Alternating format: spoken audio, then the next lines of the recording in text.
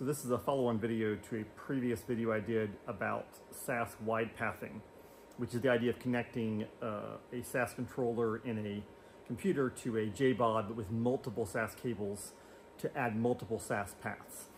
And in that video, I tested uh, adding an additional four lanes of SAS from the server to the JBOD. Uh, and we saw in that video that the read performance of a RAID 0 array, which is the very best case read performance, uh, did improve quite a bit uh, as a result of the extra bandwidth. The performance of it over the network did not have much benefit because the network was, of course, the biggest limiter in that performance. Uh, but at the very end of the video, I mentioned that there were two other things we should look at. Uh, one was the effect on rebuild time, and the second one was the effect on scrub time. And I did those tests pretty quickly. I didn't record them, but I'll let you know how they worked out. So for rebuild time, you would probably expect there to be virtually no difference because the rebuild time is limited almost entirely by the write ability of the single drive that you're rebuilding. And that in fact played out. But between the wide port and the non-wide port, there was virtually no difference. It was, I think in this case, three hours and 14 minutes to rebuild uh, the portion of the array when I disconnected a drive and then reconnected it. Uh, so that was not different at all, and so there's no real enhancement there. However, the performance of Scrub was significantly better.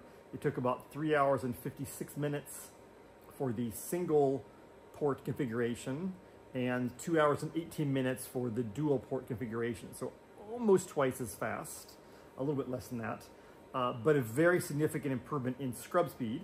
And of course that makes sense because scrub speed involves reading all the disks in parallel as fast as you can in order to look for discrepancies in the data that's returned. So it's kind of an ideal use case for uh, having more bandwidth to the JBOD.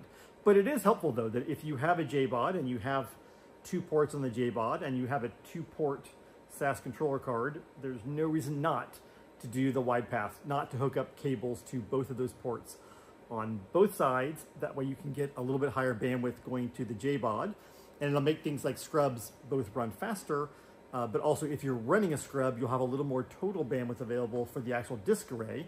So if a scrub's running, uh, it won't have such an impact on your disk usage. So just a couple of follow-ups on that. Uh, and I think I'm gonna leave my configuration with the wide path thing configured because there's no reason not to.